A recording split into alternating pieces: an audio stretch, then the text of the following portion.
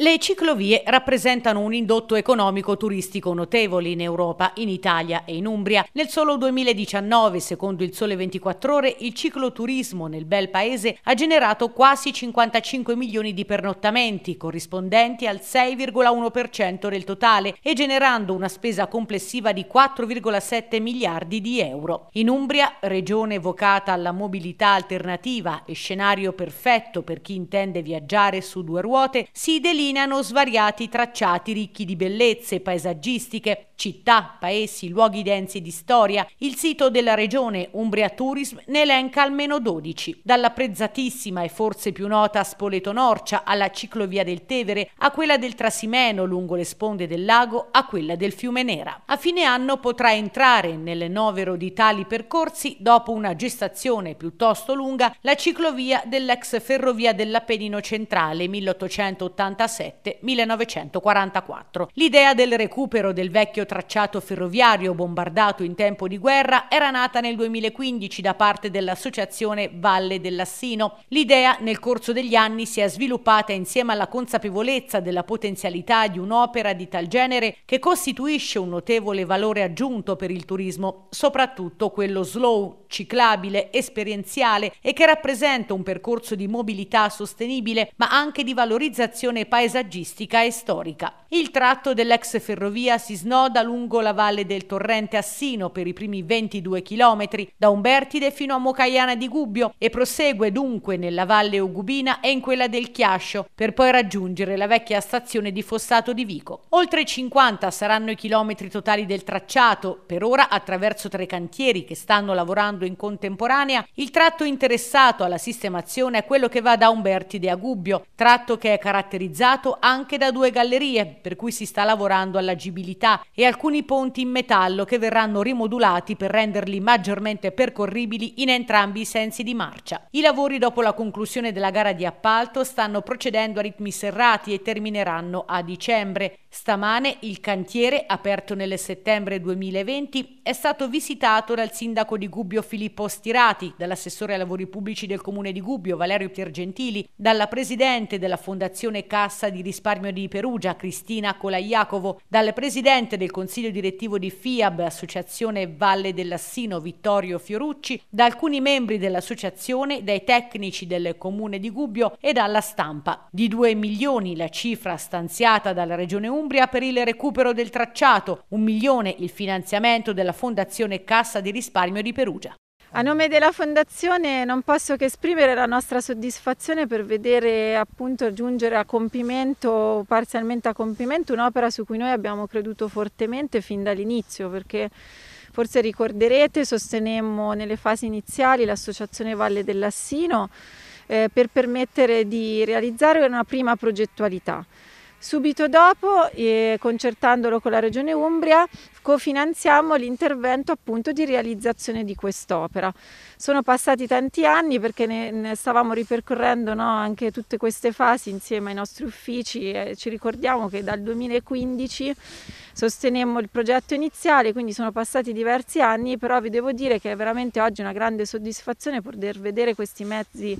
all'opera eh, per la realizzazione di un'infrastruttura che noi crediamo uno snodo fondamentale e anche un'attrattiva turistica per il nostro territorio,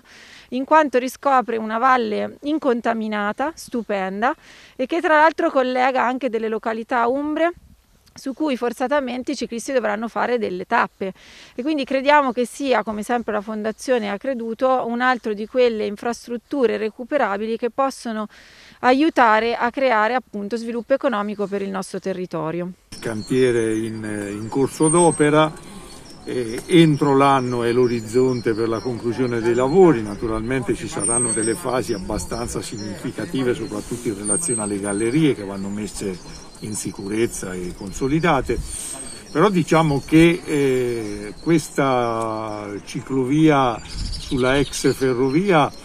rappresenta sicuramente un grande attrattore di carattere turistico, è una scelta all'insegna anche della sostenibilità e, e di una certa visione proprio anche di carattere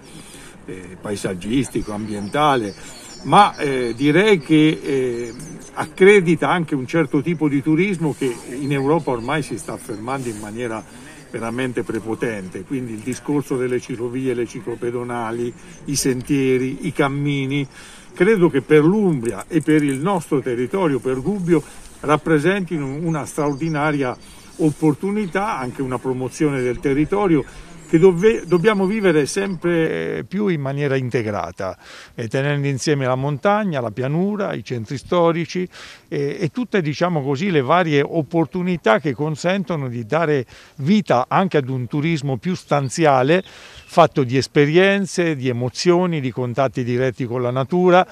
e fatto naturalmente anche dei nostri prodotti, delle nostre eccellenze di qualità, della nostra gastronomia. Quindi credo che eh, questa realizzazione, della quale ovviamente va sicuramente un fortissimo ringraziamento alla Regione dell'Umbria,